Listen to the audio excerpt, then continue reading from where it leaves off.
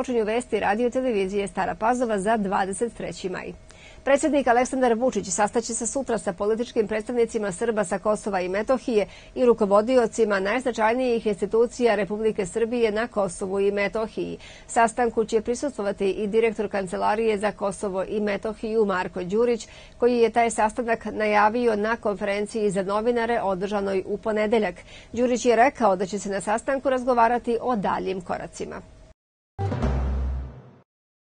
Kompanija RŽD International završila je izgradnju železničke denivelisane galerije na 41. kilometru pruge Beograd-Budimpešta. To će omogućiti optimizaciju dinamike voznog saobraćaja, povećaće propusnu moć deonice od stanice Indija do Beograda, kao i protok tereta i putnika na međunarodnom saobraćenom koridoru H. Na deonici Stara Pazova Novi Sad kompanija RŽD International izvodi izgradnju železničke pruge za brzinu od 200 km na sat kao i radove na izgradnji vijadukta u dužini od 3 km u kombinaciji sa galerijom u plavnom delu Dunava i dvokolosečnom tunelu u delu Čortanovci.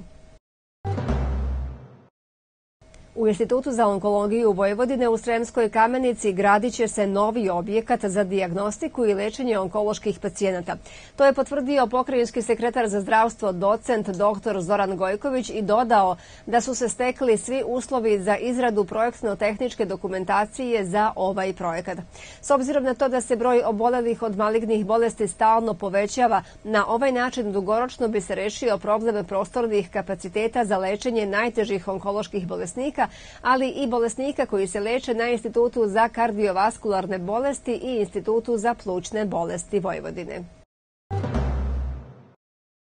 Drugi sastanak međuopštinske radne grupe za inovacijonu delatnost u Sremu u okviru projekta Regionalni centar za održivi razvoj Srema, prva faza uspostavljanje regionalnog start-up centra Stara Pazova održan je u zgradi opštinske uprave u Staroj Pazovi.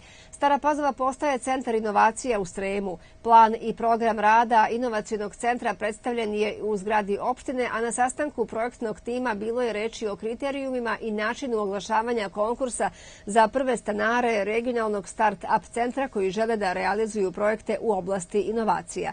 Realizacija projekta je počela polovinom prošle godine, a u toku su završni radovi na uređenju prostorija u samom centru u Staroj Pazovi.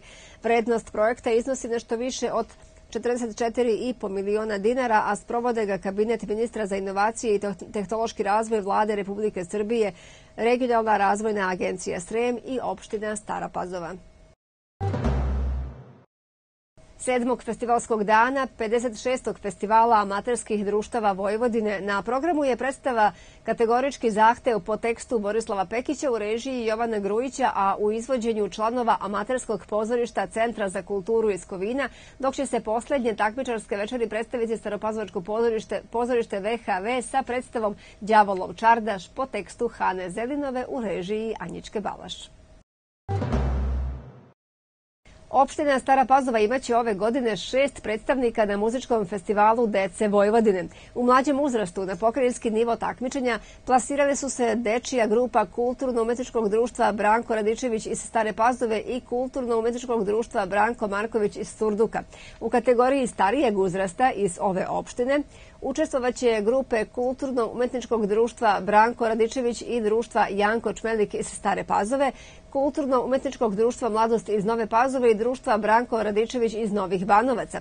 Selektori zonskih smotri bili su Damir Šipovac, etnolog iz Bačke Topole i Dejan Trifunović, koreograf iz Pančeva, a 30 najboljih dečjih ansambala iz cele Vojvodine nastupit će na festivalu u Bačkoj Topoli 2. juna ove godine.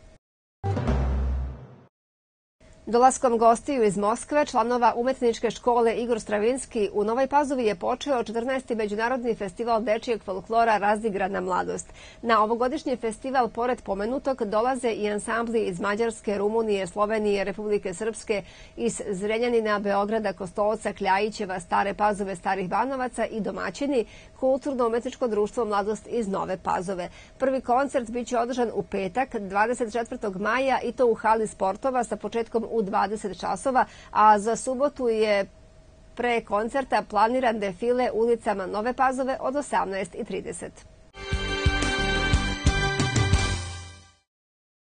Odbojkašice Srbije zabeležile su još jednu pobedu u Ligi nacija. One su sinoć u dvorani Aleksandar Nikolić u Beogradu pobedile Južnu Koreju sa 3-1 u setovima.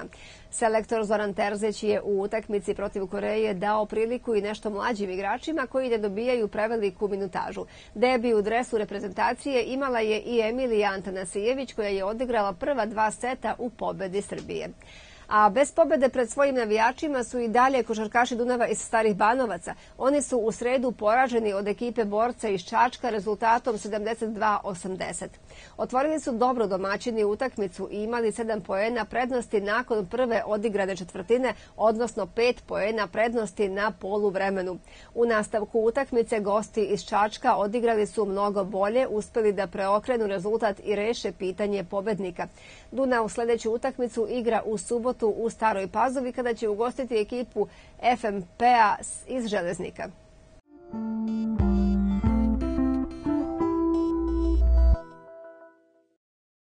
Sutra promenljivo oblačno ponegde sa kišom i ređom pojavom pljuskova, vetar slab i umeren zapadni i jugozapadni. Najniža temperatura od 9 do 13, a najviša od 19 do 23 stepena. Prijetan ostatak večeri želimo vam na programu radio televizije Stara Pazova.